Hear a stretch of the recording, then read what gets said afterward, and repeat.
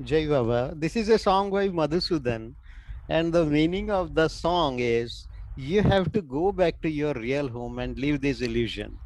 This is a false dream at the of free will. The God situated in you, trapped into illusion. Remove illusion to see your own beautiful form. This is all his game. He wanted to see his own form, mirror of ashes. Human is the best example. You don't become unhappy. There is no uh, uh, unhappiness and sorrow. Uh, there is, uh, yeah, no sorrow and dying. You are complete. Don't forget. See your own form. This is explained by Lord Meher for him. His arrival, Madhusudan says, search for where is that real home.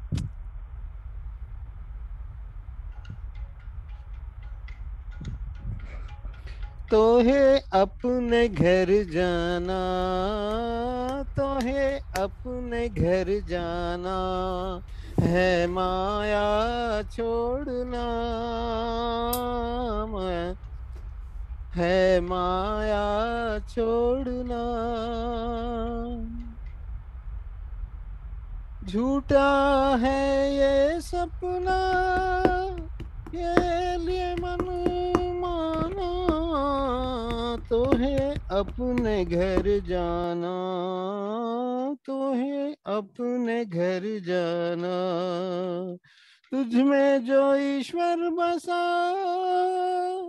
माया बंधन में फंसा, तुझ में जो ईश्वर बसा माया बंधन में फंसा, माया हटा, देख ले। माया हटा, देख ले निज रूप सुहाना। तो अपने घर जाना तो अपने घर जाना। ये सारा है खेल प्रभु का। देखना था उसे रूप उसका। ये सारा है खेल प्रभु का। देखना था उसे रूप उसका। आईने बनाए, खाक के आईने बनाए। खाक के मनुष्य ऊंच नमूना तो है अपने घर जाना तो है अपने घर जाना, तू वृद्धा न नाराज़ होना, नहीं सुख है ना दुख मरना, तू वृद्धा न नाराज़ होना। नहीं सुख है ना दुख मरना, तू पूर्ण है। भूलना तू पूर्ण है। भूलना देख रूप तू अपना तो है अपने घर जाना तो है अपने घर जाना। ये मेहर प्रभु का है कहना, हुआ उसके लिए उनका ना। मधुसूदन खोजना मधुसूदन खोजना। कौन है वो ठिकाना? तो है अपने घर जाना। तो है अपने घर जाना। है माया छोड़ना। है माया छोड़ना। तो है अपने घर जाना। तो है अपने घर जाना अवतार मेहर बाबा की जय thank you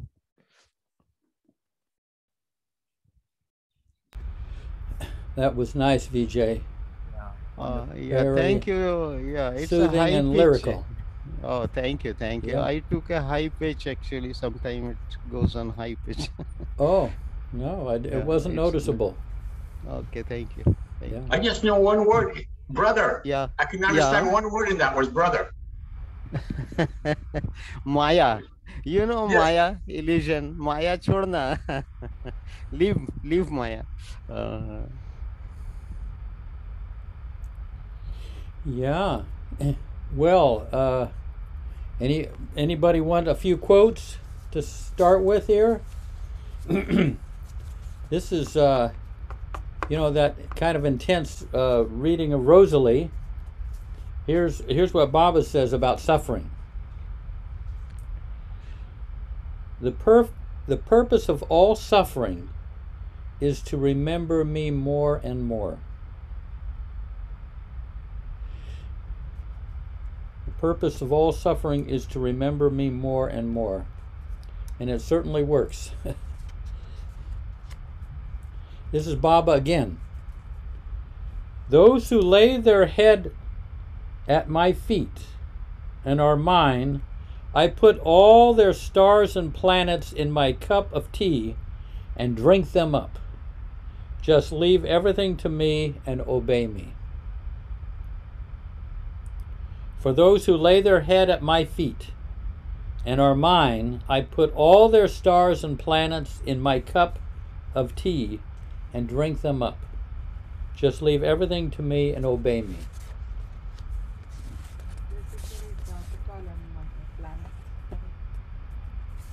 I don't know if some of the people will get this one. Because I don't know if this is known so well in, in India, but this is uh, H.L. Mencken. Puritanism. The haunting fear that someone somewhere is having a good time.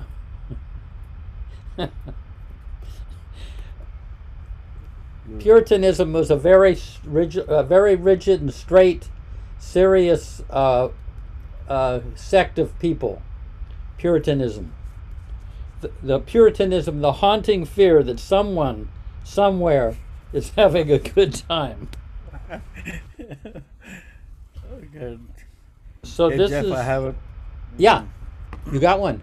I ha- I have a few quotes. I mean, maybe I'll just uh, read them out. Read them out. Go here. for it. Yeah. I have this beautiful book, The Book of Awakening by Mark Nepo, I think, N E P O. Uh, there are a bunch of quotes here. Uh, let me read a couple. Uh, it says, The more spacious and larger our fundamental nature, the more bearable the pains in living. Let me read that again. The more spacious and larger our fundamental nature, the more bearable the pains in living. The pains what? What's that When The pains what? pains in living, pains in living. Okay. Yeah. Yeah, uh, that's by Wayne Mueller, M-U-L-L-E-R, Mueller. I don't know. and then there is uh, one more here on page uh, 50. And actually, this one, this book is uh, so good. Uh, they give a quote and they have a story that follows it. And actually, it's very nice.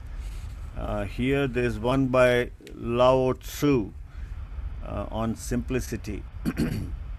he says, I just have three things to teach simplicity, patience, compassion. These are your greatest treas- treasures. Simple in actions and in thoughts, you return to the source of being. Uh, once again, I just have three things to teach simplicity, patience, compassion. These are your greatest treasures.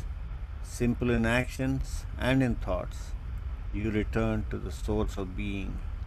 That by Lao Tzu. Lao Tzu. And Yeah. yeah, Lao Tzu. And then there's one more here. one story also you may tell Melody Beetle. B A T T. Oh, sorry. Melody Betty, I think. sorry. Weakness. Our strength will continue if we allow ourselves the courage to feel scared, weak, and vulnerable. Uh, let me read that again. Wow. Our, stre- our strength will continue if we allow ourselves the courage to feel scared, weak, and vulnerable. And one last one. This is uh, 122. Uh, again, this is by Lao Tzu. All streams flow to the sea because it is lower than they are. Humility gives its power. Once again, all streams flow to the sea because it is lower than they are. Humility gives its power. Jai Baba. Yeah. I think uh, you said there are stories also. We know, we know it. One story you may tell. Say that again, Sham. Uh, one, uh, he says that there is one story uh, after every quote. So one story he may tell. Yeah. Yeah. yeah. Yeah, let- let me yeah. Uh, this one is the first one I write. How does it taste, right? The more spacious and larger, larger our fundamental nature, the more bearable the pains in living. By Wayne Mueller. So the story goes: an aging Hindu master grew tired of his apprentice complaining, and so one morning sent him for some salt. When the apprentice returned, the master instructed the unhappy young man to put, to put a handful of salt in a glass of water and then drink it. Then he asked, How does it taste? The master asked. Bitter, spit the apprentice. The master chuckled and then asked the young man to take the same handful of salt and put it in the lake. The two walked in silence to the nearby lake, and once the apprentice swirled his handful of salt in the water, the old man said, Now drink from the lake. As the water dripped down the young man's chin, the master asked, How does it taste? Fresh, remarked the apprentice. Do you, do you taste the salt? asked the master. No, said the young man. At this, the master sat beside the serious young man who so reminded him of himself and took his hands, offering the pain of life is pure salt, no more, no less. The amount of pain in life remains the same, exactly the same, but the amount of bitterness we taste depends on the container we put the pain in. So when you are in pain, the only thing you can do is to enlarge your sense of things. Stop being a glass, become a lake. That's yeah. the story. Beautiful. Wow. Yeah. Excellent. hey, I had um, I had a thought. I don't know if you folks are interested, but I met um, and I uh, first met Dr. Harry Kenmore back in around 1970, and you know, he, and Baba said he's one of his Mandali. He's a Mandali member that very few people really know about.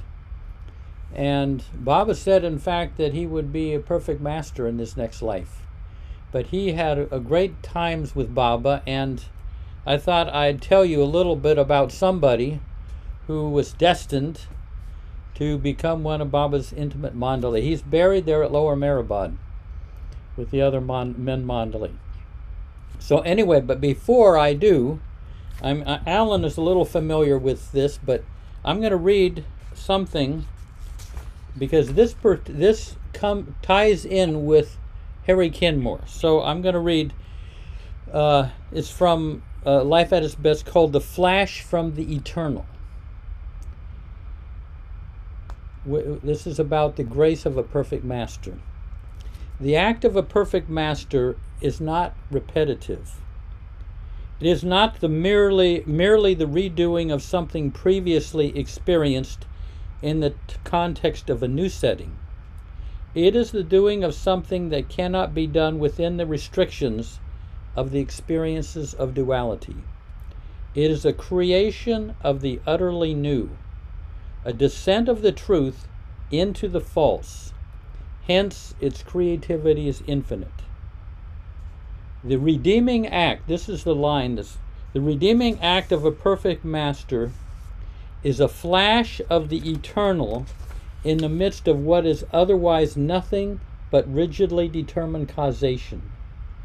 This is the mystery of divine grace bestowed by the perfect master. So, in other words, the grace supersedes the law of cause and effect, karma. So, anyway, uh,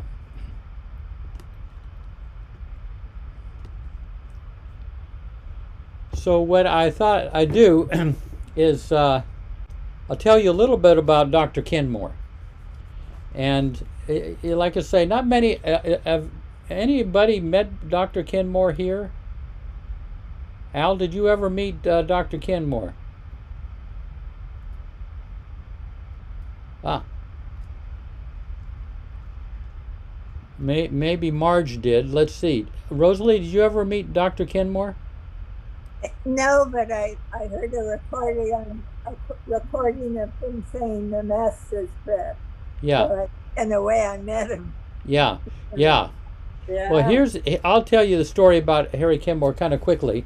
he, uh, i i his parents were from, his father was from uh, Austria and his mother was from Romania. They were Jewish. They came to this, they came to this country around the turn of the last century. And Harry was born in 1910 in New York City, and he grew up in New York City, mainly in Manhattan. And he was as a kid he was very um, very he was fearless big-hearted you know larger than life. Even when he was uh, when i met him he was one of the lar- much larger than life you might say. And he acted in some of those early children's uh, movies spanky and Our Gang comedy and the little rascals little stand-ins for, for those but he sang, he was very talented musically, he was a good athlete, a natural leader. And like I say, he was very fearless and and independent. But then around his mid-teens, he started having a problem with night blindness.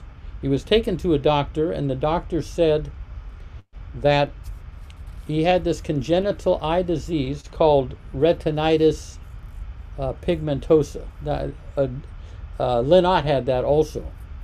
But the doctor said that he would one day be totally blind. You know, well, that day came very quickly, and he woke up one morning and everything was dark, but he could feel the sun coming in the windows, and he, everything was dark. And oh, he was horrified. He, he was completely blind. And he found out later that his parents knew of this condition, but they hadn't told him and he was very upset that they didn't give him any forewarning. The next, so he's age 16 and he's totally blind. And, you know, like I say, he was very, after such a, a promising life, he found himself blind. He was very upset about this. And when he asked his father what can he what could what would he now be able to do as in a, as a living, do for a living, his father said, Well, get a cart and sell rags on the streets of Manhattan. His father really showed no real concern for him. He was deeply hurt. I mean, I, I guess selling rags, uh, on, you know, were, was something that blind people did. It was a profession. Back in the this, we're talking about the 30s. Anyway, he decided to leave home he left high school. he had all these buddies, good friends, and everything. He left it all, and he, and he said he became a hobo. VJ, do you know what a hobo is? no. It's kind of a bum. He just kind of got on trains. He started riding trains all over the country. Okay. And and there was this traveling circus that uh, ad- adopted him and so he became part of this this uh, uh, you know circus troupe, and he would sing and entertain. He would he got real good at telling jokes, and he could play a lot of different instruments. and then also one of the things that he was able to do was to hypnotize people he could hypnotize a whole audience and put them to sleep. He somehow learned that one guy opened, kind of, what can I say? They kind of opened him up to uh, occult, some of the occult things, and he didn't know what he was doing, you know. So, but anyway, so he was on the road for a number of years, and then he decided to come back to New York, and maybe pursue, finish his education, and pursue a career. So anyway, what he did, he got he got finished off his high school, and he got admitted to this chiropractic school. And and he had a buddy of his who was already studying, so they he he would help him out, his friend, and so he learned how to be a chiropractor, and he did very very well. and um, I mean, later on, he developed certain powers where he could give someone an adjustment without even touching them. He could, and you could feel your your vertebrae kind of click, you know, click into place, even though he wasn't even touching you. So he had amazing abilities. Uh, I mean, remember he he been telling me that there were times when he um, he would he would cast out spirits that people that you know entities that were possessing people he even had that, those abilities.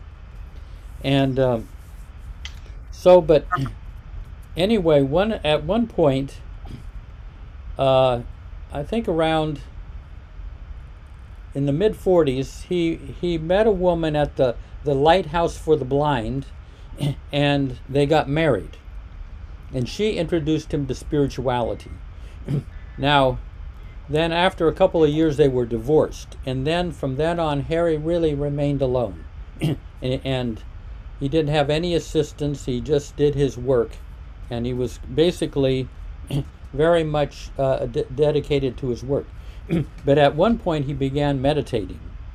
And he told me he, he meditated for 10 years. Now, Harry, to meditate, I mean, he was so intense a person that 10 years of meditation for him, we're talking about, you know, uh, that would be like a couple hundred years for most people. But in, in one of his meditations, he he uh, got into such a deep place that suddenly he could see the room he was in. And uh, not only that, but he could fly around, and he flew around the neighborhood to see what his neighborhood looked like you know, while in other words, his his inner eye opened, that wasn't handicapped by his physical blindness, and so he he started doing all this kind of stuff, and um, I mean, at one point he said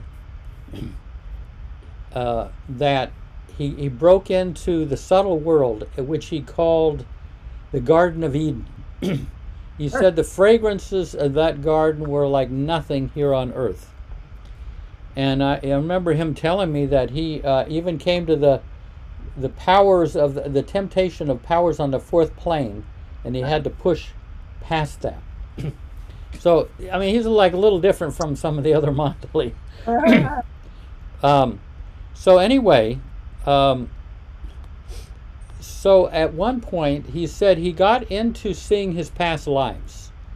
And he's understood the whole logic, the, the cause and effect of past lives. He looked at his past lives and he could see no reason for his blindness. There was no explanation, and that infuriated him because he felt so handicapped by being blind, even though he was about as, as versatile a blind per, uh, as a blind person can be. But he, he saw that there was no reason for his blindness. He couldn't see. But then uh, one day, uh, Dale Walken, who was uh, one of the longtime Baba lovers, came to him as a chiropractor. And she felt he was really excellent as a healer and chiropractor. And she started, uh, and Margaret Craske came, and different of the Baba lovers, and they told him about Baba, and he became very drawn to Baba. so he um, so he this was around 19, you know, early 50s and everything. In 19, no, 1954, actually, then he went to a see Baba at at Delmonico Hotel, and then he came down to the center in Myrtle Beach, and he went and saw Baba in the lagoon cabin. This is where it's. So he went into the lagoon cabin, and after the the, the normal pleasantries and you know uh, words with Baba, he's, he very seriously said, "Baba, why did I become blind?" and Baba said, "I created your blindness. You were destined to become a renowned world world renowned surgeon, but you wouldn't have looked for me." In other words, as a world renowned surgeon, he would have been in the beck and call of all the rich people, all the royalty of the world, and he wouldn't have had that chance to seek uh, Baba. That's what Baba said. You wouldn't have, you wouldn't have looked for me. And that was the first time in his whole life that he accepted his blindness. Yeah. And here's the interesting thing: is that th- th- that line that I read here from uh, th- this is why you know where Baba says the redeeming act of a perfect master is a flash of the eternal in the midst of what is otherwise nothing but rigidly determined causation. This is the mystery of divine grace bestowed by the perfect master. In other words, the grace the grace comes from outside the karmic cause and effect. So he could not see any reason for his blindness because it was a gift from Baba, Baba's grace. So now, um, uh, uh, and now then I'll, I'll, end this in a second here. But uh, here's some neat things. he they said uh, the Mandali said he was a lot like Dr. Ghani. He could say anything around Baba that he wanted. And when he came to, to he he came to work on Baba after the second accident. And he worked, you know, about four hours a day intensively. I mean, at different, uh, four times a day, working intensely to get Baba walking again. Baba's uh, femur was not in its socket, it was on the edge. And he had to work until Baba's femur went into the socket. You know, uh, it was excruciatingly painful. Baba was not able to walk.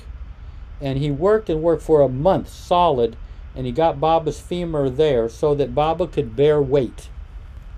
But the whole time that he was in Mandali Hall, because his table, he set it up in Mandali Hall, uh, Harry, Bob will let Harry say anything.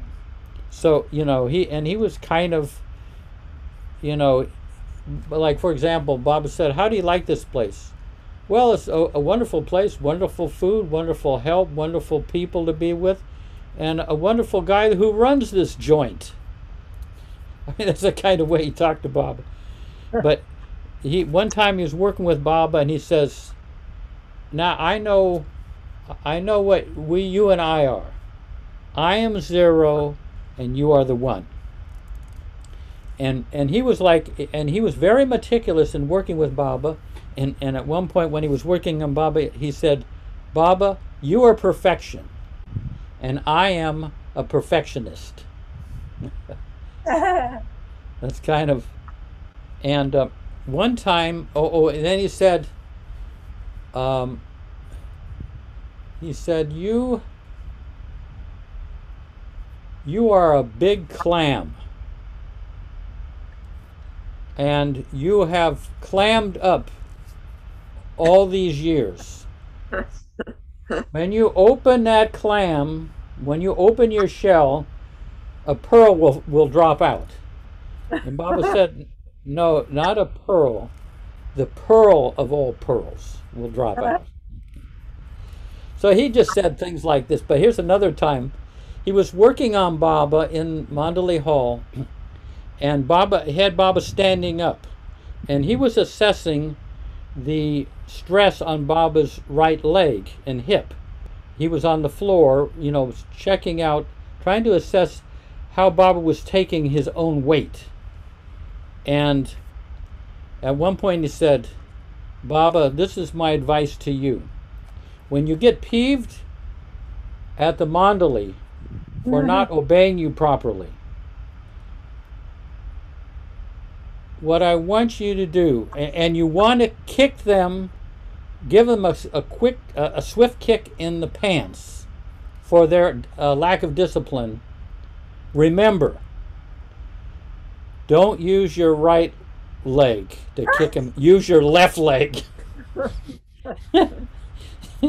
so anyway, he, he was quite a guy. Anyway, that's my. I, I thought I'd give you a little.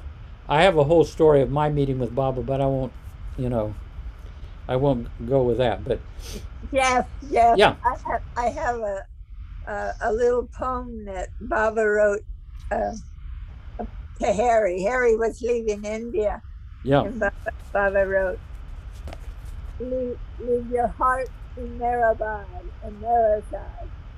Take your mind and body to New York.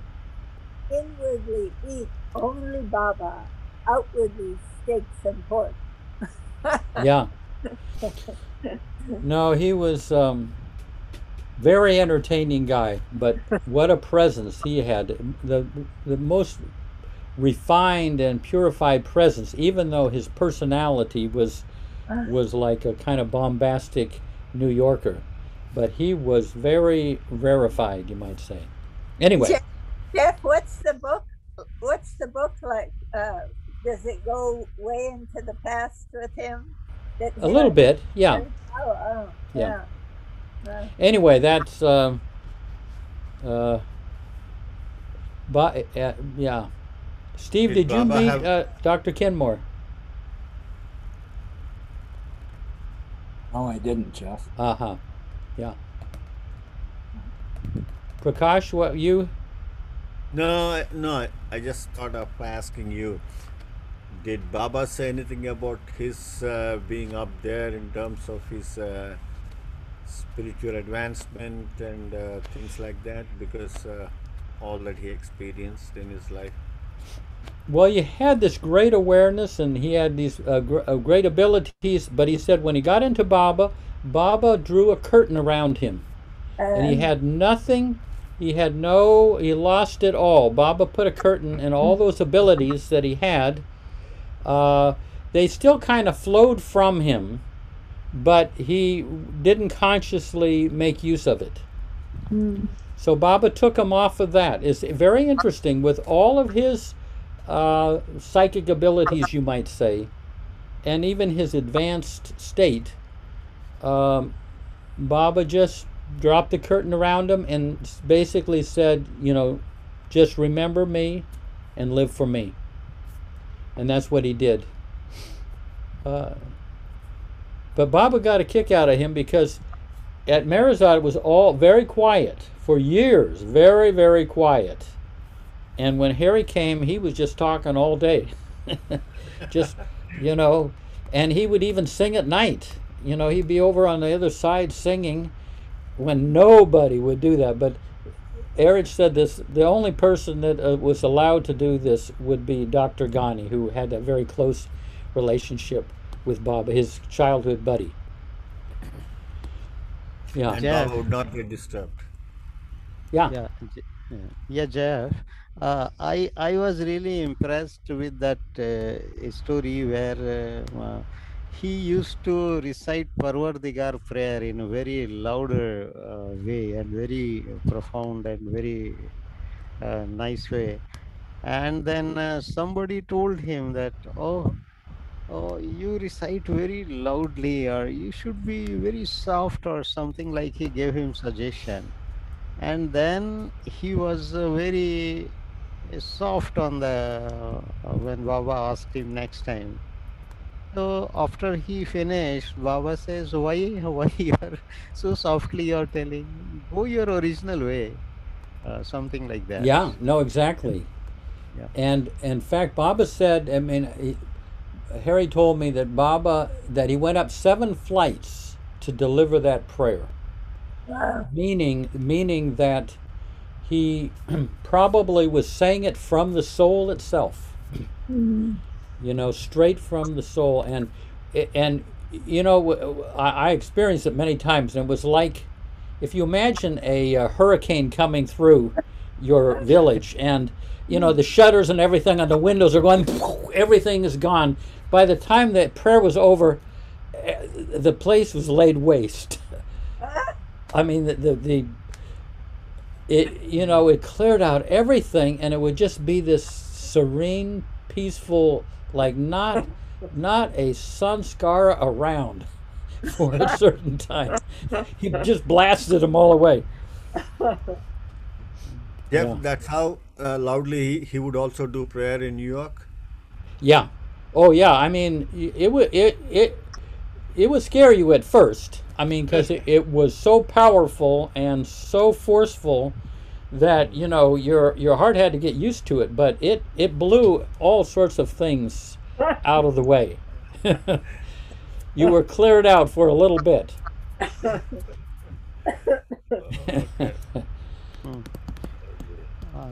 there is one story, uh, Jeff, small, about him. yeah Uh, he, when he was at Meherazad, uh, he they, he went out with Pukar uh, outside, and uh, then uh, there was uh, some muddy place. So Pukar thought that his shoes and his it will be spoiled. So what he did, he picked Harry Kenmore. Hurricane Moore was so heavy. He Yeah. picks him and he crosses that puddle of uh, uh, water, muddy thing. Anyway, later on, then when Baba came to know this, and he asked Pukar, he was unhappy with Pukar. Why did you lifted him? You are have heart problem and this uh, and uh, and later on Pukar also got a heart attack after that. Uh, oh really uh-huh yeah, yeah. So that was No, he was. Yeah. he was always trying to get me to get a, a, a, a pursue a career. And, but but I was agonizing at the time. What am I going to do with my life? What am I going to do with my life? What am I going to do with my life? And I would go in, and he would just blast me. Well, you know, you, you, what are you going to do? You're doing nothing. You're wasting your life. And I mean, but he would say it like a like a, um, a, a New Testament prophet, I mean, the Old Testament prophet laying down the law. And I'd come out of there and I'd be completely free of worry about what I was going to do with my life. And then it would kind of build up over the next month, and I would go in and see him again, and he'd blast me about what are you doing? You know, you're just going to wait tables or something? What are you going to do with your life? And and all that and I'd come out of there and I'd be just so free. He just he kind of just blasted it out of me. But one time I just tell you one time I brought a buddy that came all the way from Seattle to meet him. And you know after the exchange and everything he um uh very briefly he said he, asked me about now what are you going to do with your life, Jeff? And everything. So he gets on that subject again. And I say, Well, I don't know, Harry. I don't know what I'm going to do, uh, you know. And he goes, The trouble with you, Jeff, you're just a mad dog roaming the face of the earth. I mean, he says that like, like some, some, you know, Old Testament prophet, you know, just laying down. I mean, I did. I didn't. I never took it personally. It was. It, it was something so so purifying about it that it I felt freed up. but I mean, if he got a hold of Alan Manukian, I don't know what he'd do. Blast him, blast him all the way, and yeah, That's so beautiful. yeah. So at, at some point of time, did he get some eyesight back? I mean, uh, No, never got any. he probably could have healed himself uh, with his powers, but uh, at, after meeting Baba, Baba uh, just put an end to all that. Was he into singing and uh, painting or uh, any art like that? I mean, He wasn't a painter, but as a child, you know, in his teenage years, he was a singer and and played instruments, acted in plays, athlete, everything. he was like had all the great qualities. How long did he live, Jeff? I mean, He died in about 1972 or three, I think. okay, not long after Baba left. Yeah. Yeah.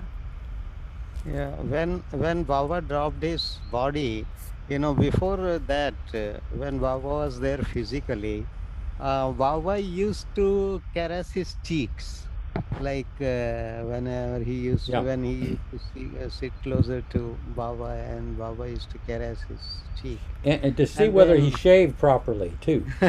Yeah. yeah. Being and blind. Then, yeah, and then when Baba dropped his body, and after that Harry happened to visit Meherazad, and he was in the fields, and then he felt the same caress at his cheek. Oh. So he knew that Baba is there. Yeah. So he, But Yeah. he that last, testified him. last darshan, he probably went Well, no. He, here, here's the story. when he saw Baba, I guess in 1968 or 67, no, 68, Baba, uh, Bob told him to come back next year, that he would see him next year. And then Baba dropped a body, and so Harry got a hold of Eruch and said, Baba said he would see me one more time. You know, should I come? And and Eruch said, Yes, come. But come after the 69 darshan. So he came to Meherazad. And, you know, Baba had passed on, uh, you know, dropped his body and everything. One day they were walking down the approach road. and uh, just they would take walks up and down the approach road. And uh, as they were walking, uh, Harry des- describes this to us. And a farmer came from the fields there and c- came over to them. And he was tall and he didn't, he was very uh, friendly, came up. I mean, farmers would usually kind of keep a distance. He came right up and uh, Harry and, uh, and, and he, he Oh no. caresses his face, Ah. and Harry says, and after he goes, he says, "Who was that?" And and Harry said that was a farmer from the fields. Harry says that was not a farmer. Those were not the hands of a farmer. You know, and and and he says, "Where is he?" And Eruch looked, and the guy was gone. I mean, I, and it's just open fields. Where did the guy go? You know, and so the Mandali, you know, the women Mandali, he told that story to the women Mandali and the men, and they felt that Baba fulfilled that promise Yeah. to, to give him his darshan uh, one last time. But yeah, he said, no, that was not the, um, those were not the hands of a farmer. They were too soft, and, and a farmer would never come up to, uh, you know, Eruch and a Westerner and do such a thing. So they, they, they were convinced it was Baba. So uh, I've yacked on. Mayor Prasad, what do you have over there in Seattle? Oh, it's uh, I don't have anything, but it's very sunny today. Yeah. Oh, good. Yeah. You can probably see Mount Rainier then, huh? Yeah, yeah. Where in Seattle do you live? I live in Redmond, Redmond. Uh, Okay. near Bellevue. Yeah. I don't know if when you were here whether Redmond was. Yeah. Redmond was there. Yeah. I lived on Queen Anne Hill for a while, Capitol Hill, up a Yeah, Ravenna Park. Now pretty, you know, they're pretty popular places. Yeah. Very hard to find housing in those places. now. Yeah. Any uh just checking to see. oh, I, I I got something. Uh, Balna too used to say all the Mandali had to learn this one yoga. They had to master one yoga, in their life with Baba. And it was just, he would say it's just three words. Sitting, doing, nothing. you had to be able to do that and and lo- not lose your composure. Because you know there'd be so mon- so many monly around you might be left out. So you're just left there with nothing to do. It sounds it sounds like night watch though. They weren't supposed Yeah. to watch a mosquito or anything. There was a little story on on the doing nothing part. You know that if, um, there was, I think it may have been Baidul or or uh, one of those people who uh, Baba said all you have to do is just do nothing, and you will. That's all you have to do, and all the problems will be solved.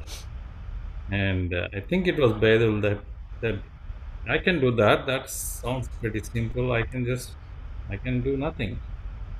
And Baba asked him, okay, why don't you do that? And he told him to ask um, to do nothing and stand in the room.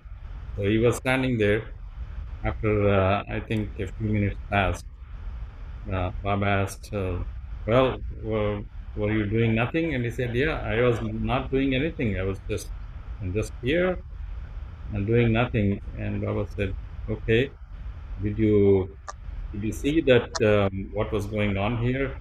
And he said, yeah, I, I saw what's going on. Uh, I heard everything that you are talking. He said, yeah, that's good. And what else were you doing? And nothing else. I'm just doing nothing here. Baba said, were you breathing? And he said, yes, I was breathing. And you were hearing everything going on? Yes. I was doing something. yeah breathing, listening, hearing, smelling, seeing, all of those. You know. you know dr Donkin, who was very qualified as a doctor and and uh, all that and he after he did the uh, the wayfarers uh, you know he baba gave him nothing to do and he would sit in his room and there was nothing. He, he'd give notes to somebody like Bhau and say baba you know give me something to do and everything. Baba wouldn't give him anything to do. He would go, get so frustrated he would sometimes take his motorcycle apart all the way down to the last bolt and then put it all back together again. Or he would throw all of the stuff out of his room and then bring it all back in.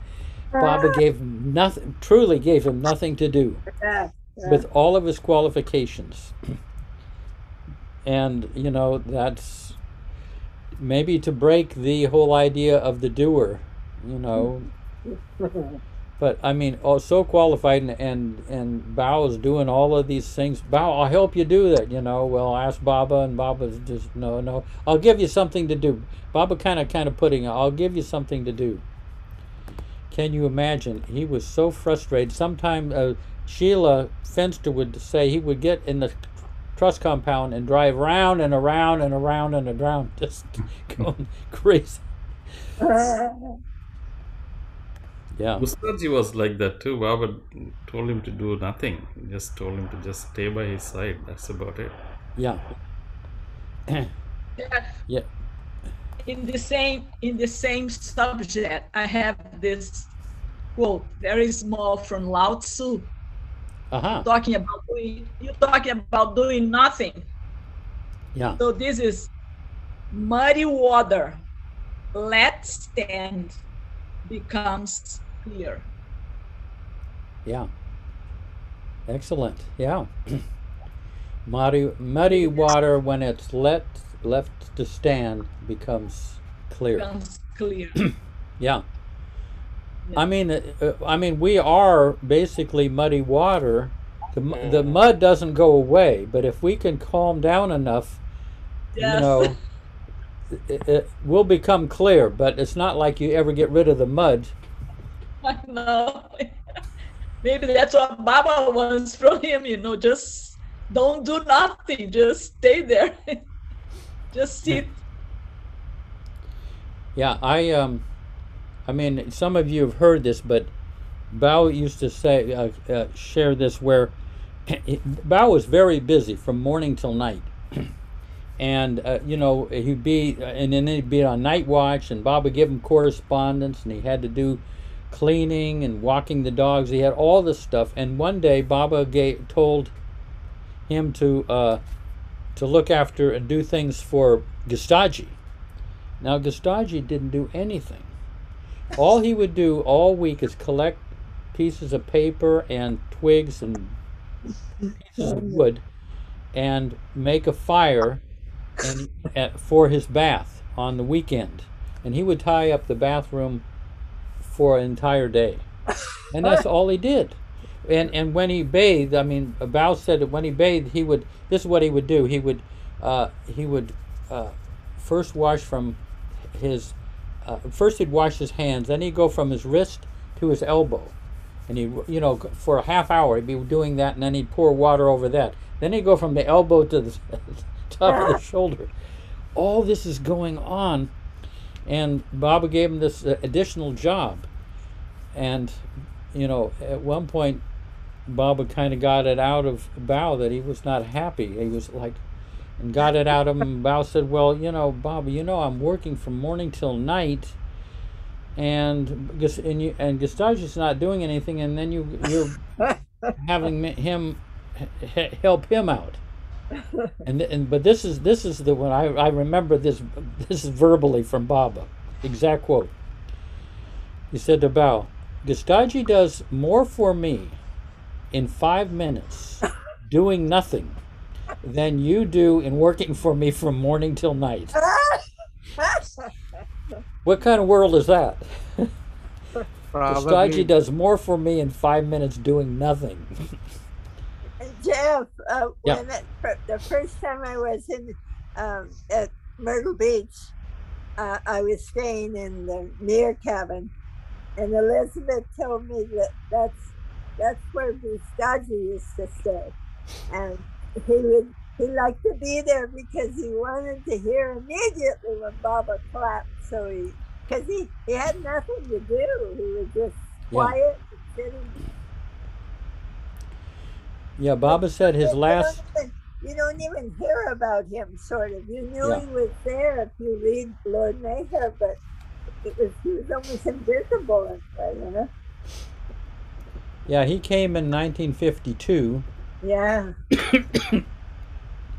And Baba, pardon me.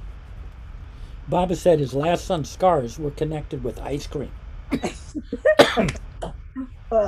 Uh, but when he was here in 52, Baba gave the. they were here for a longer period. It wa- There weren't a whole lot of people, especially after the accident, but Baba gave each one of them an allowance. and sometimes they would eat in town, a little restaurant or some, you know, a little cafe. And Gustadji would use all his money, invariably, use the money for food to buy milkshakes. he loved milkshakes, so he just fed himself on milkshakes. Jeff, I wonder where he went when. Uh, uh, did he go out to Mayhem out with Donkin and, and Nadia and them? Where did he go? Huh. I can't remember whether he went. I think he was. you know, I don't know. I don't know actually. Yeah, that's so. Uh, it's that's why I think it's it's like he's almost invisible, you know. Yeah. Yeah.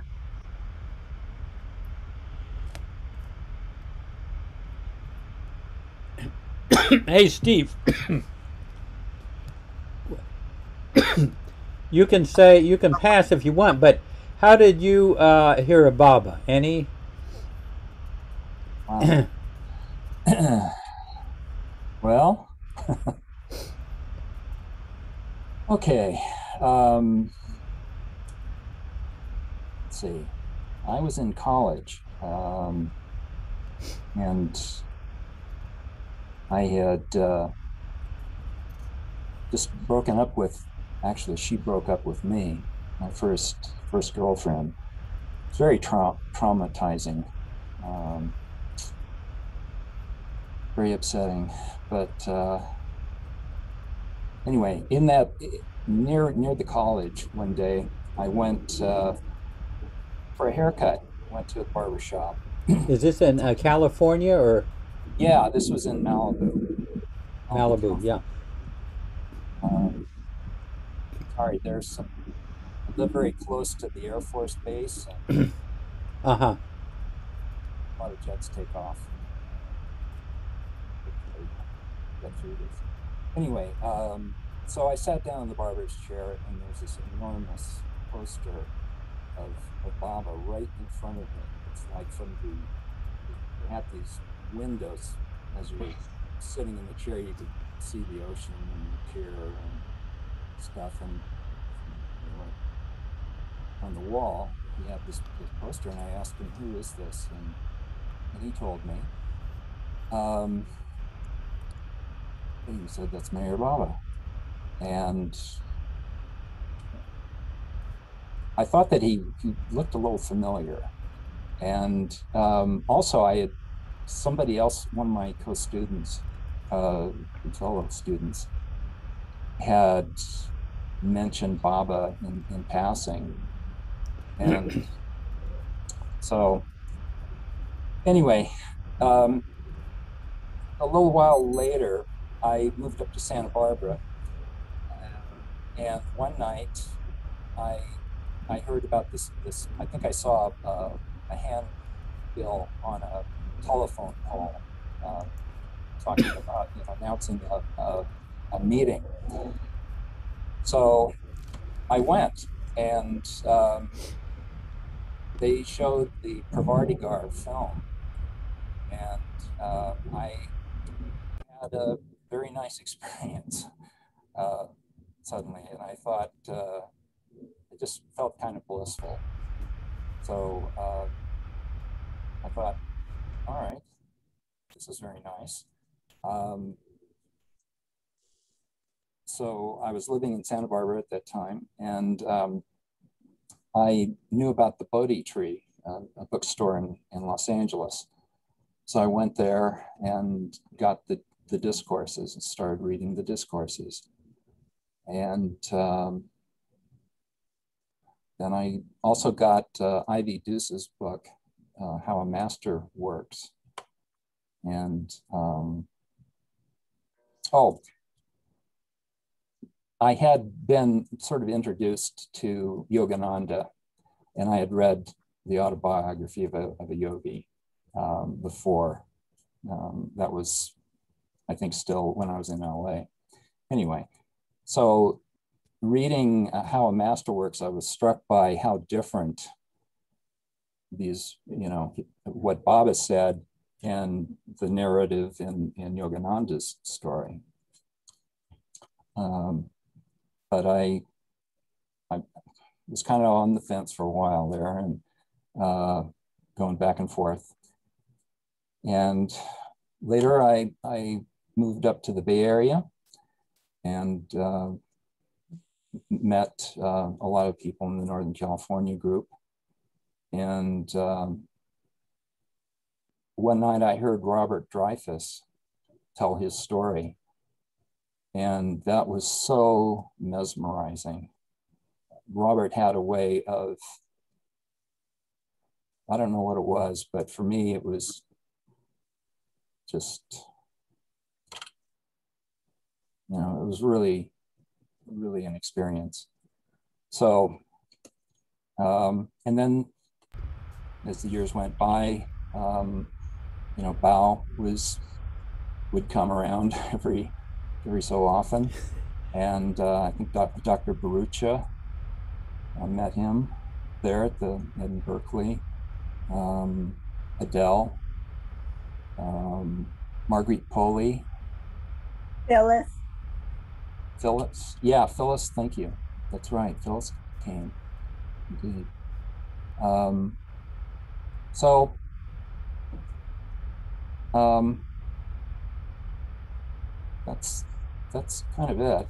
Um, Was there any particular moment that it just became more real than than it had been previously, or was it just kind of a very gradual uh, kind of conviction that occurred? Well, I, in Santa Barbara, um, I, I remember being really absorbed in um, The God Man, Purdom's book. Uh, Yeah. That really, you know, um, meant, said a lot. Um, Did you go to India? no, I have not been to India. Wow. wow. Um, I, I want to very much now, um, of course, but uh, you know, maybe that'll happen. I hope it does. Uh, things open up. It's a, yeah, it's un, unexpectedly powerful. India, it'll take you Oh. by surprise. Yeah. And, ba- and Bhau used to say that Baba has put a treasure in his tomb for each of us. Whether we pick it up in this lifetime or next lifetime, whenever, it is there, awaiting us. Yeah. wow. Yeah. Adi used to say, Adi K says you get a transfusion when you come to the Samadhi. You get Get the transfusion. all new Yeah. blood. Yeah. Like that. Yeah. Yeah. Yeah, beautiful. I've been um, reading a lot of books lately, um, and uh, I'm reading uh, Me- Meher first Yeah. volume, and uh, I'm really enjoying that. I, it's it's all these years I've, I've never really known much about Mehera, um, just except for seeing her in videos and and some of the video talks that she's she gave in, in later years. Um, but it's interesting at the beginning, you know, she's she's very young and she's she talks about loving to dress up and um, not being especially interested in schoolwork and and things like that. I, that, that just I, is so charming. She likes eating meat. Yeah, You know, Yes. she was a natural vegetarian. exactly. And interestingly, um, you mentioned Bhau, and so did I. I. I read in that book just a little while ago that um, Bhau was nervous, nervous the the, the early Mandali Yeah. died in 1924 of you know, some disease. Uh, but he came back as Bhau, which I Yeah. didn't know before. Yeah. Recycled. Wonderly. But, uh, yeah, no, it's no a lot. That's a, a lovely the woman. I mean, you know, David Fenster did that, but the woman uh, named Julia Ross wove all of those accounts, of voices, different voices together seamlessly, so that it just flows. It's excellent. Yeah. There's a new book um, on the Blue Bus tours that kind of takes you on that with with a lot of diaries, but they're woven in such a way you don't get a feeling like, oh, now Monty's talking, now Rano's talking, now it it just all kind of flows nicely. Uh, done done very well. Uh, well, Jeff, Jeff, tell, tell that thing that uh, someone says, why are you're so hard on on uh, on Bhau, Baba? And uh, and oh, and you uh, you asked Eruch how how was how was Baba with you, Eruch? oh, okay, yeah. Yeah, I love that. I love that. No, I said to, um, I said we all know uh, to Eruch in Mandali Hall. I said we all know how Baba treated Val. You know, and he never could do anything right, and sometimes Bob would ignore him for, for weeks on end, and and just never could do. Would just disapprove of things. how did Baba relate to you? You know, what was your relationship to Baba? He said. Um, Baba was always very good to me. I had self knowledge. Inside, I thought, Eruch, what are you saying? But immediately said, I knew I was a scoundrel. And whenever I did anything wrong, I knew. And I would look over at those all know- knowing eyes of Baba's, and I knew he knew. So what was there to say? Baba didn't have to correct him. He already got he self he was self correcting, and and eventually Bhau Bhau came to the same realization. But for a while, you know, he he didn't know that he. now, when Eruch said he was a scoundrel, it's a different kind of scoundrel. It's not the scoundrel with a low self esteem. Eruch had a high self esteem, you might say, but he knew that inherently he was selfish. If Baba pointed it out, Baba knew. Baba, it was almost like Baba had perfect pitch, and if if if uh, Eruch's string, one of Eruch's strings were flat, was flat or sharp, Baba just point at it. And you, you know you couldn't say, well, Baba, this is this this string isn't sharp. You know, you better say yes, it is sharp, and then you better try to get it into right tuning, and then he won't bother you. I don't know if that makes sense, but I thought it was. I like that. Marsha, what are you doing there in Chicago? Taking your dog. Marsha, you're on mute. Um, we're fine, hanging out, going, walking around the lake. Just, um, Have you got a you got a painting there that you can show us? I'm sure, probably. okay. Yeah. Marcia, Marcia, your paintings are so beautiful. I yeah, love it. that uh, I saw your uh, your presentation on uh, Zoom. well, I could say I was a little bit embarrassed that I interrupted everybody and just talk so much. So I was kind of like only looked at it once. It kind of freaked me out. I said I'd like to do that over. you know, uh, it's embarrassing. Wouldn't we like to do it? face, You can do it on Silence Day. Wouldn't we Well, all like to do things over? Yeah. Well, yeah, I was embarrassed. I embarrassed myself. I said, "Go ahead, shut up," you know. So I was being really quiet now. I was, I didn't think you'd see me there being so quiet. I, I'm in the studio. I'm going to take you where I do my work. Some work. You see that stuff? Right.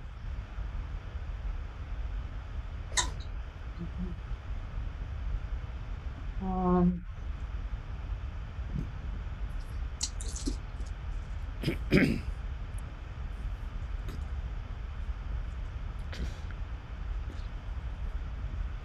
okay, I didn't ever show this to anybody yet. if you can I'll try to put it so you can see it kind of big.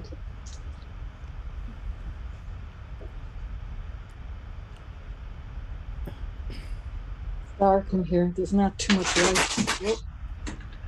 I'm breaking everything. Can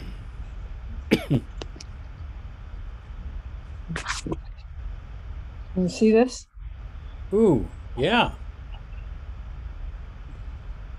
Should I go closer or further? Uh, no, bring it up uh, up a little bit and yeah, no, uh, up a little bit. No, you're going down. Up. Up. Yeah. Yeah, beautiful. And go to your uh, left. No, oh, the other direction. Sorry. right? Uh, go go a little bit more. And now uh, up. Go up. Up. No, the other way. Up. Oh, your up is my down. Okay. it's reversed. I don't Okay. know why. Okay. But yeah. Well, that's very cheery. Beautiful. That's in the back by the old, in by the old Pilgrim Center. Uh huh. Oh, Yeah. way back when. Beautiful. 19, yeah, 1994. Oh, I like that. Uh, Yeah. let's, see the, let's see the bottom of it. Can you pull it? Up or down? Uh, if you if you tell me up, I'll go Go, down. go one day. Yeah, yeah. Uh, there, that's better. Yeah. Yeah, Closer. Wow. that's good. No, you got it. Good. Lovely. You want to see another one? Yeah, Sure. one more. Okay.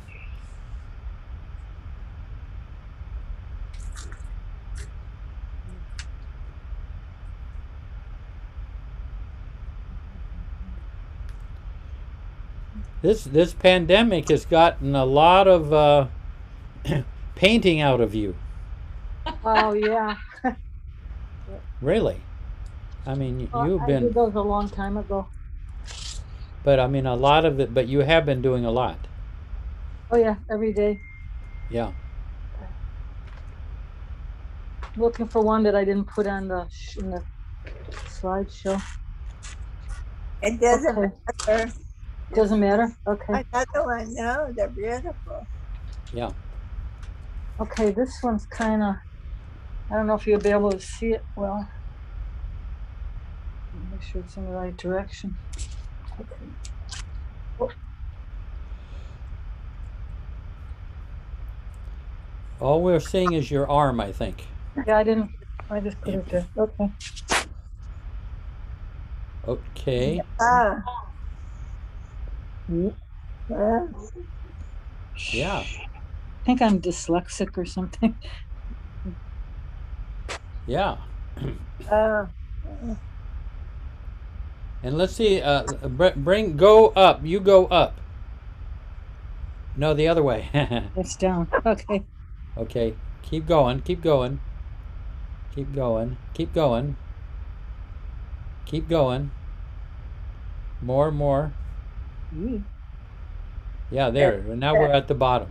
uh, uh, Wow, that's really. I love Wow. it. Yeah, I never showed it to anybody. It's just been Yeah. here. It's been Yeah. in my. Yeah. colors are beautiful. Yeah.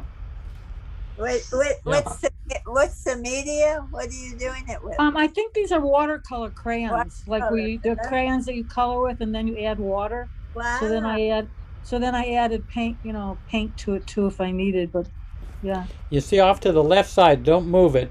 You can see Baba off to the left side a little bit on that Oh. tree. oh wow, yeah, in the middle, right? Yeah, in the yeah. tree. yeah. Yeah. The thing is, he sneak, he puts, he's I, he puts, it he's there in all of them, you know. in Yeah. Yeah. Yeah. If I, I never heard of crayons with water. Color crayons. That sounds Yeah. great. That's yeah, they're cool. um just like crayons, and you draw with them, and then you, you know, take your brush, blah blah blah, and you know, wet, Well, it, wet it, wet the brush a little bit. And uh, Yeah. the thing is, you got to go real light with them because they're heavy, you know. Yeah. Yeah. Yeah. Now I got the pencils instead of the crayons, you know. Yeah. Yeah, but they'll last longer. Okay. They'll- they'll last Great. Let's see what else. Um, watercolor. Any? Uh, uh, let Let's see someone. Uh, let's see the. Go back to the gallery. Me? No, no uh, um, I'm thinking of um, of Jay Sema. Back, thank you. back to the yeah. Thank you, Marcia. Yeah. Yeah. I guess Jeff, you need to uh, do it uh, on your. Oh, oh, oh! I see. Yeah. Somehow we. Oh, Haven't. okay, there we are. Yeah. well. Uh, Marinaz. Oh, Marinaz. Hey, uh, before you go, Marinaz, did did you a- able to follow this at all? Say it again. You you're able to follow what we were uh, talking about? Oh, Oh. to some extent. To some extent. I'm sorry. Not Hey, be- not all. Before you go, next Sunday at Yes. 10 o'clock, uh, uh, Goer Mobed is going to share her experience of uh, her father was one of the Mandali, and then she's going to share her, you know, his her his uh, life, and then her meeting with Baba in uh, her own meetings with Baba. J- Jeff, do you know what time it will 10 be? o'clock, 10 o'clock uh, our Pacific time. time? it's or after Eastern the time? after the Sunday arti. Okay. Yeah. Okay, so it, But- it will be seven o'clock my time. Yeah, she's All right. beau- beautiful, really a beautiful person, and speaks very well. And her father was Minu Karas, one of the early Oh. Mandali. Yeah, and I'll be and there. and a real seeker. Yeah, Yeah, I'll be there. Thanks Yeah. for um, the reminder. yeah. Jeff.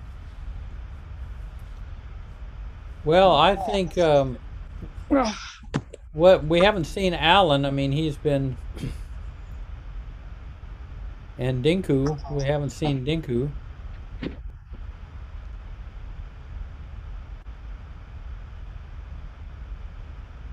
Ah.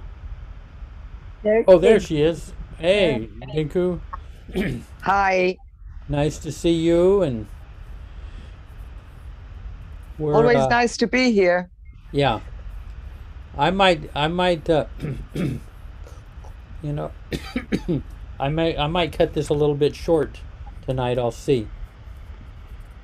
Uh, Oh, but yeah. Anything new with you, Dinku? Oh, Uh, no, nothing, nothing. nothing to report. no.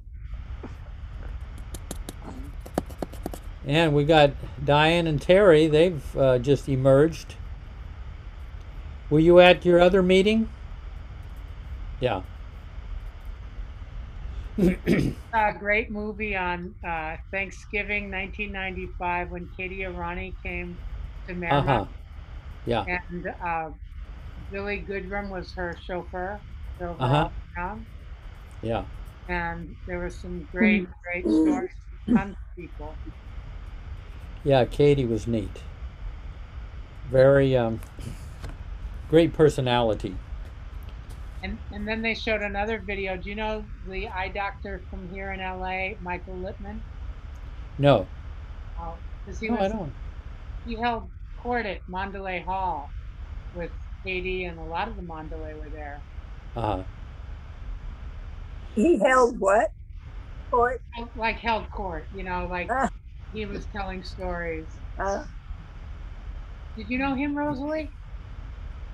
no, I, I know. Uh, uh, I mean, I don't know. I know Barbara McReynolds, and, you know, just because I was in LA so long. Right. Uh, But I mean, it's not like I would see her at meetings or anything. You just know where everyone is, you know. But they have a they have a lot of wonderful tapes there by uh, Phyllis Frederick that could be very beneficial to, to Baba Lover Mankind, you know. And uh, they're they're just sitting there. And oh, it's anyway. It's Barbara McReynolds' brother has all of these uh, audio videotapes of Phyllis Frederick. They're like amazing. Yeah. yeah. Yeah. You could listen. You could listen for three straight days to Phyllis Frederick and, and, and never get tired. She was so Yeah. insightful. So uh, she was really, really someone to be around. she had a wealth of of stories, but also insights and everything. Yeah. Yeah. Yeah. I mean, Phil, uh, Baba said to Darwin, Darwin time, isn't Phyllis wonderful? And she didn't find out about that till uh, 20 years after it was said.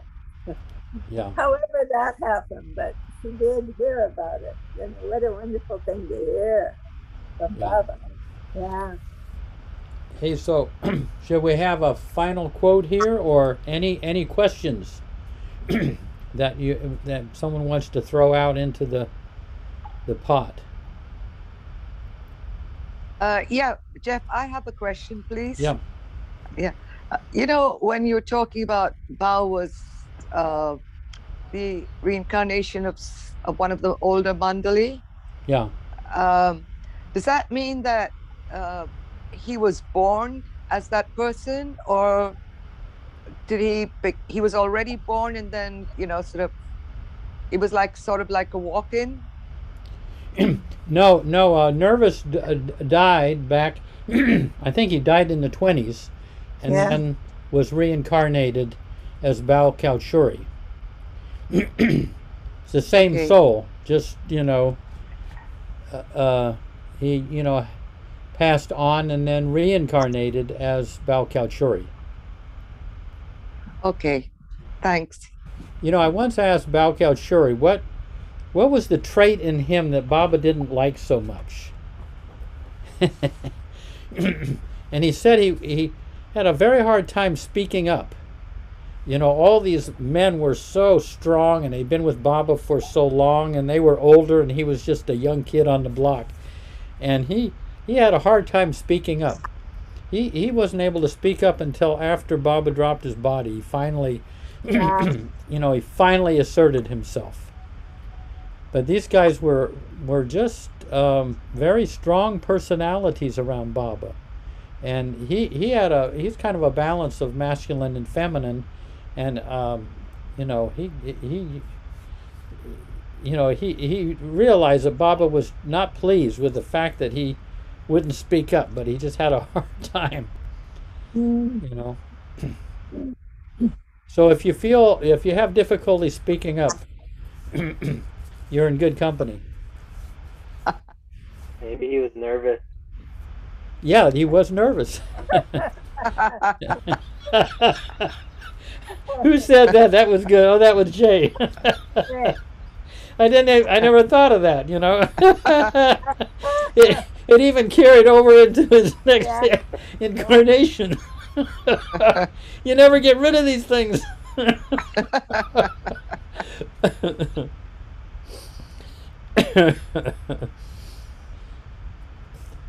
he's, you know, when he's about to get uh, realization, he's going to be so nervous. You know.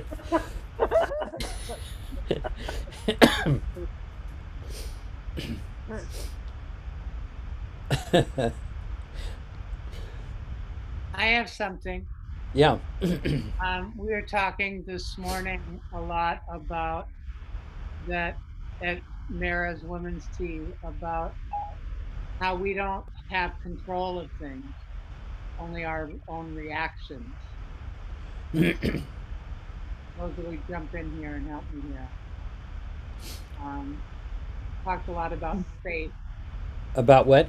Faith. Uh huh.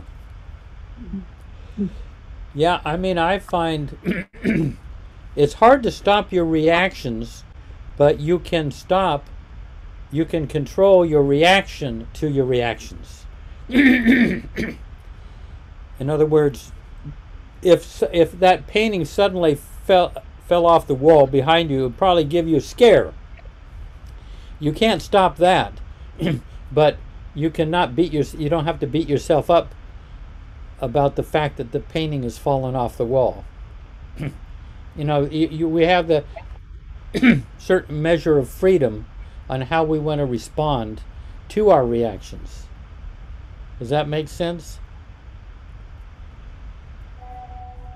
Because if you try to eliminate all your reactions, I don't think you'll ever succeed.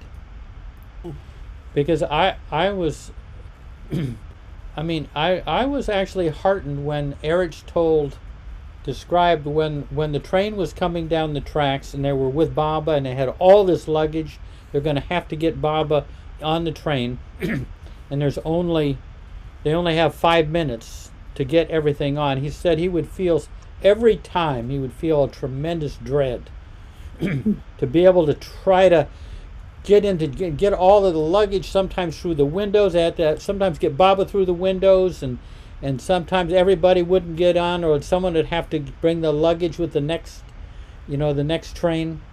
And you know but but his anxiety is in the service of Baba.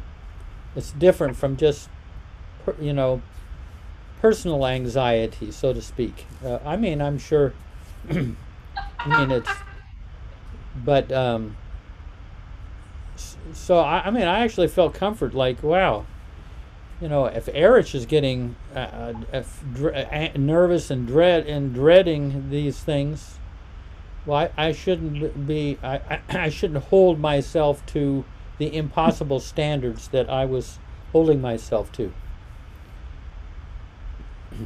And I remember when I was young, and Mara said that she had a fear of altitudes, and to go up to atop a seclusion hill, she would even as she got higher up, she had to go uh, crawl on her hands and knees. and but she she related it, and she it it wasn't like a problem for her. I mean, to, to relate to that. Because I, I thought being young and immature and Bob, I thought, wow, if she hasn't overcome a fear of altitudes by now, after being with the Avatar for the last 40 years, what, you know, but, but I mean, is she didn't, di- didn't, didn't, uh, that didn't bother her, her shortcomings.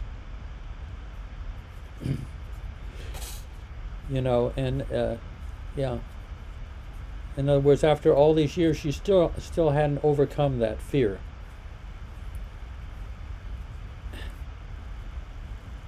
Oh, we got Marcia up here. Yeah. Yeah, I found my folder that I have of Baba quotes, and I never read my quote at the beginning of the new year. And I just Yeah. read it yesterday after I was Yeah. kind uh, of bummed Yeah. out. It said, Do your duty faithfully and conscientiously and put it above everything else. Then you will please me. Neither praise nor blame should distract you from the path of your duty. Leave aside all other considerations but your appointed duty. yeah, so. Yeah. Yeah. And then I found this um, little one page thing called Divine Love. I don't know if it was Rumi or Hafiz. It says, One day when I went out a walking, I met one where the road was forking. He looked an honest sort of man. I said, Good day. We fell a talking. By the roadside we sat and cracked many a joke. We talked of this and that, and then of God who spoke. I said, Can you prove that God is? He answered, Can you prove a kiss? I said, Yes, by experience. He said, The same applies to this. But if you want to try love, you have to take a chance. He only can deny love who never knew romance. The same applies to love divine. You cannot stand on the sideline and vainly split hairs and debate. Go beg God for his holy wine, for truth's most found by thinking, but is your sweetheart's glance, the wine of which by drinking you learn love's sacred dance. Yeah. Beautiful. I have Beautiful. one more little one. It kind of- it says, When mind soars in pursuit of the things conceived in space, it pursues emptiness. But when man dives deep within himself, he experiences the fullness of existence. Meher Baba, 1964. Yeah. Yep. On my huge shoulder. Well, anything anything else that Yeah, I, I have this. This helps me every day by Eruch. I mean, it really helps me. Simple and natural. Life is a joy with him. Without him, it is not. Joy is living with him. This is the new life. You're living from the heart, not the mind. He is the deeper self. There is no one to love except yourself. The self is God. Love yourself more and more. This is your inner being. And I, I got this wonderful picture. This is uh, Eruch sitting on the uh, the uh, the threshold of Mandali Hall. yeah. yeah. No, that's that that's a very unusual quote. I love it. Yeah. I love it. Yeah. Well, Where is where is that from, Rosalie? Betty Grant gave it to me once upon a time, Yeah. but it's just it's so. Uh, I mean, I I've seen that quote, but I don't know I don't know where it's from though. But it's something that he Yeah, it is. It's. Oh, it might be in Rustom Falahati's book, possibly. I don't know, but mm. it, it, it Yeah. also feels so very arid. I mean, they're like that perfect companion, you know. And Rosalie may repeat her Yeah. quote again. Yeah. Rosalie Yeah. may repeat. Yes. Yeah, You want it read again? yeah. Yes. Simple and natural. Life is a joy with him. Without him, it is not. Joy is living with him. This is the new life. You're living from the heart, not the mind. He is the deeper self. There is no one to love except yourself. The self is God. Love yourself more and more. This is your inner being. Yeah. we'll see if we can find that eventually. Yeah. Well, I think. What do you say? I think. Time Let's- to leave. Time to leave. Yeah, Nasreen, you know, when we uh, we'll have a few moments of silence, and Yes. then and then have you say Avatar Meher Baba three times. Sure. Okay, I, we got to hear oh. that voice. of course.